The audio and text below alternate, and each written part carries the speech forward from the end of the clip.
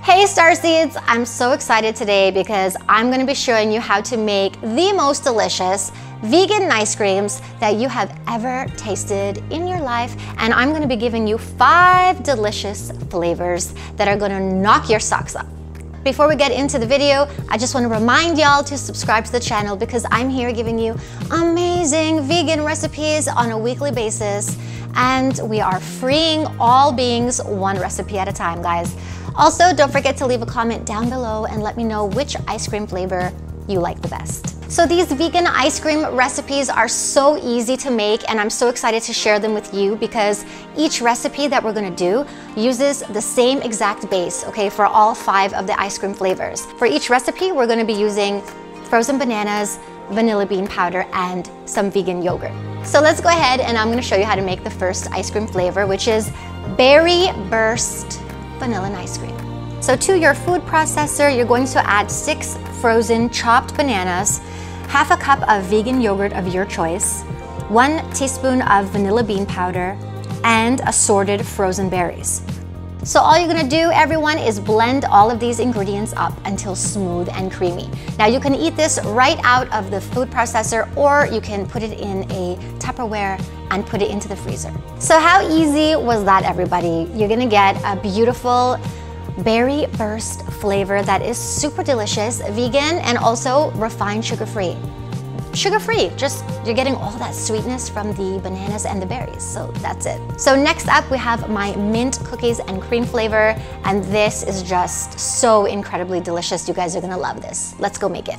So to your food processor, you're going to once again place the base of the recipe, which is six frozen bananas, half a cup of yogurt, and one teaspoon of vanilla bean powder. To your base, you're going to add a drop or two of mint extract, one teaspoon of spirulina. Now we're using spirulina because it's gonna turn our ice cream green. So now you're gonna mix all that up until smooth and creamy. And then you're just going to put in your 200 grams of Oreos and you're just going to pulse it once or twice. You don't, you really want big chunks in this ice cream. You don't wanna blend all the cookies up. So just pulse it and then pour it into your container and put it in the freezer and let it chill. Or you can just eat it out of the food processor. So if you read the ingredients on the back of an Oreo package, the ingredients are in fact vegan, but actually I read recently that um, they may contain milk because in the factories, you're gonna get this cross-contamination of milk in the Oreos, okay? So for those of you who don't wanna use Oreos, you can go ahead and use whatever vegan cookie that you desire. So next up is one of my favorite flavors, and that is the strawberry cheesecake ice cream that we're gonna be making. So this recipe has two more extra steps and I'm gonna show you guys how to make it. So first, we're gonna go ahead and make the strawberry swirl sauce. To a saucepan, you're gonna add 500 grams of fresh strawberries, the juice of one and a half lemons, and a quarter cup of agave nectar. So you're just gonna put it on medium heat for about 25 minutes and you're gonna mash it with a masher and you're just gonna whisk it occasionally until it reduces in volume and then you're gonna let it cool. So you're gonna let your strawberry sauce cool, and now we're going to be making the strawberry cheesecake crust. So for the cheesecake crust, you're going to add to your food processor two and a third cup of oats, a third cup of almond flour, a third cup of walnuts, seven pitted medjool dates, and four teaspoons of coconut oil. So you're gonna go ahead and blend that up until the dough is able to stick between your fingers. So once you've blended all that up, you're just going to place it in a bowl and set it aside. So now guys, we're gonna go ahead and we're gonna assemble everything together so that we can make this delicious strawberry cheesecake ice cream. So once again, we are using the same exact base, which is the frozen bananas, a half a cup of yogurt, and also one teaspoon of vanilla bean powder. So you're gonna blend all those ingredients up until smooth and delicious. You're gonna sprinkle on this delicious uh, cheesecake crust, and then you're gonna take your strawberry sauce and you're gonna drizzle it all over, and then you're just gonna go ahead and mix it around. Once that's done, you're gonna put in your cream cheese and make sure that it's vegan and also make sure that it is at room temperature. Mix it up once again, and then you can just put it into your freezer and let it firm up. Guys, this so does taste like cheesecake, and the best part about it is that it's vegan. Next up, we are going to be making this delicious chocolatey brownie chunk flavor. To your food processor, you're going to add in the same base as the other recipes, and then you're going to add in a quarter cup of raw cacao powder, and then you're gonna mix that up until smooth and creamy, and then you're gonna go ahead and add in your two thirds of a cup of walnuts and these delicious brownie chunks. And then you're just gonna go ahead and mix it around with a knife.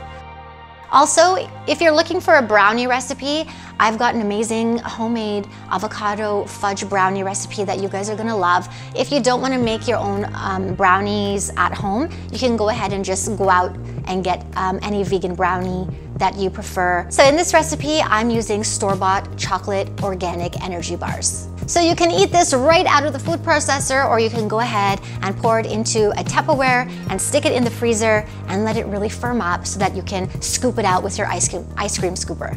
So for the final flavor, we are gonna be making this delicious pecan caramel ice cream.